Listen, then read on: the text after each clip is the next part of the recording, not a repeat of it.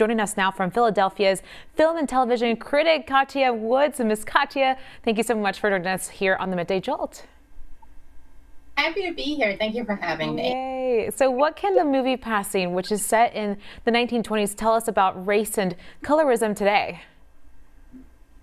There's so much. I mean, it is still a conversation that's so embedded in our community. We have family members that we are disconnected from because they chose to pass or they felt as though they had no other choice in order to have opportunities and just to live a semi-normal life we are disjointed from many of our families like rebecca was in in her case because someone made the decision to to pass. And i think hopefully this movie will be a starter kit to our conversation to re- re- reconnecting with family and to also tackle colorism because it's very much prevalent still in our community Kathia Woods, the Philadelphia Tribune. How are you today? Hey, good. Hi.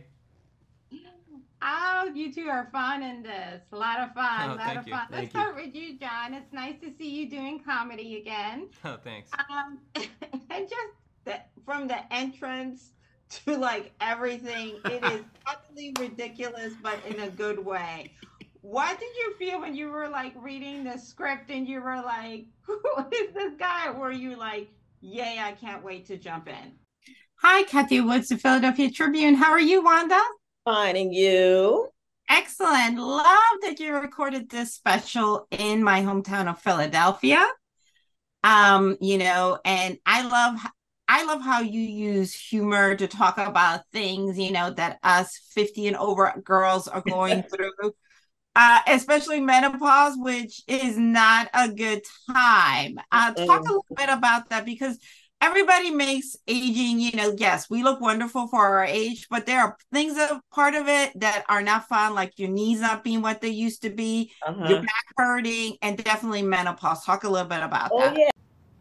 Hi, Kathia Woods with the Philadelphia Tribune. Hi, Holly. How are you? Hi, I'm great. How are you?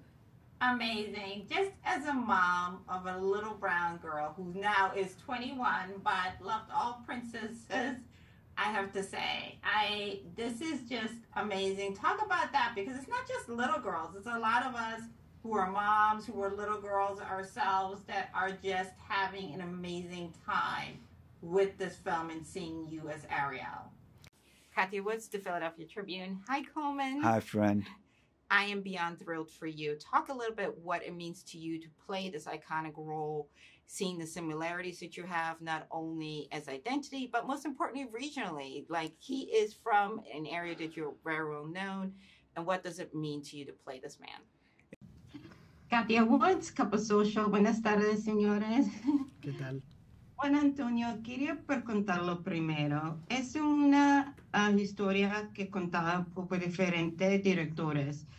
Lo que hizo que pueden hacer y cuál era tu interés para hacer esta historia ahora en este tiempo. Hello, everyone. Kathia Woods, Cup of Soul Show uh, here in the United States, out of Philadelphia, but I'm currently in LA. So that's how life is. Como vai? Tudo bem? Espero que vocês estão bem. I mean, okay. é, não faz diferença, pode fazer em That's cool. português. Uh, um, one of the things that I really loved about this film, it's it's a complex thing. It's not very clear. So first, I wanted to ask, what made you say, okay, I want to make a film about this?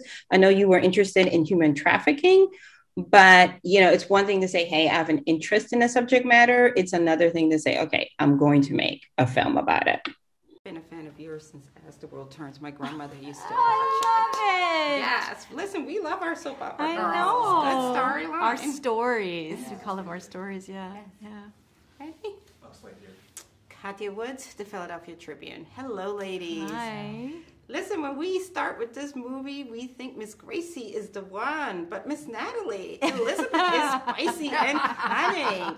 And I love that for you because normally you don't play the, the awful girl. And I'm like, I'm like she is she is a, a mean girl too. So it's like villain 1A and 1B. Yes. Talk about that because it had to have been fun. Like even really in that scene when she's like, that's what adults do. I was like, you are horrible. Hi, Josh. Kathia Woods with the Philadelphia Tribune. How are you? Yeah, doing all right. How you doing? Pretty good, pretty good. Oh, you play a guy. Whew, Yeah. you should have left him. You know, we this is the guy you leave at the party. Oh, yes. Uh, no accountability. Like clueless.